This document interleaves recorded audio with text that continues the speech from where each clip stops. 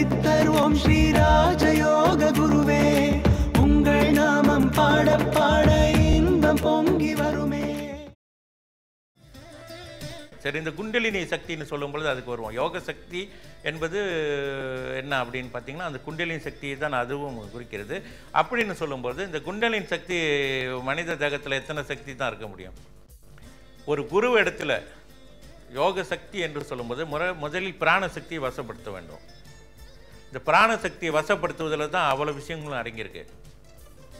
யோகத்தின் அடிப்படை தத்துவமே இந்த பிராணசக்தியை வசப்படுத்துவது தான் இந்த பிராணசக்தி எப்படி வசப்படுத்துவது என்ற நிலையில் தான் இருக்குது அப்போ இந்த யோக சக்தியை இந்த பிராணசக்தியை வசப்படுத்தி குண்டலினி சக்தி அதாவது மூலாதாரத்தில் இருக்கக்கூடிய அந்த குண்டலினி சக்தியோடு அது ஒன்று கலந்து எழும்பும் பொழுது தான் அது ஆற்றலும் ஞானமும் கூடிய நிலையிலே அது இயங்குகிறது.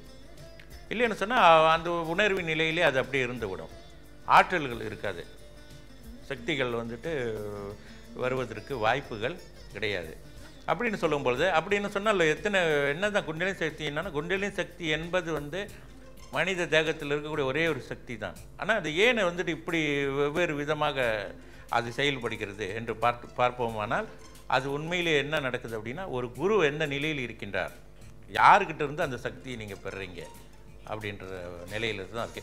சரி நீ சக்தி பெறவர்கிட்ட வந்து அவர்கிட்ட உண்மையிலே வந்து ஞானம் இருக்கிறதா? ஃபஸ்ட்டு ஞானம் என்பது மிக உயர்ந்த நிலை. ஞானம் இருக்கிறதா? இல்லை அவர்களுடைய ஆற்றல்கள் இருக்கா? அற்புதங்கள் புரியக்கூடியவரா? இப்படியெல்லாம் ஒரு விஷயங்கள்லாம் இருக்குது இவைகள் எல்லாம் அவர் இடத்துல இருக்குன்றால் அவர் உங்களுக்கு அந்த சக்தியை வழங்கும்போது உங்களுக்கும் வருவதற்கு வாய்ப்புகள் இருக்கிறது. அப்படி இல்லாமல் இருந்தாங்கன்னு சொன்னால் உங்களுக்கு வாய்ப்புகள் நிச்சயமாக வருவதற்கு வாய்ப்புகள் கிடையாது.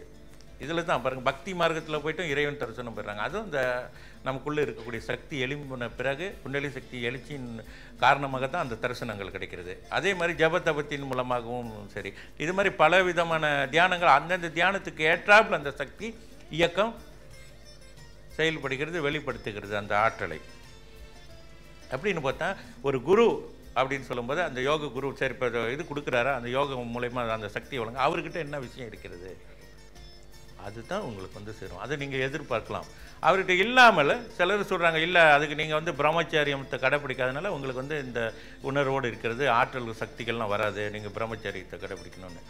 இது வந்து உண்மையாக சொல்ல சொல்ல போனால் உண்மையான ஒரு பொய்ன்னு தான் சொல்லணும். ஒரு சக்தி பெற்றவர்கிட்ட இருந்து பெற்றால் தான் எங்களுக்கு சக்தி வரும். இந்த குருக்கிட்ட இருக்கணும் சக்தி. இல்லைன்னா வரவே வராது.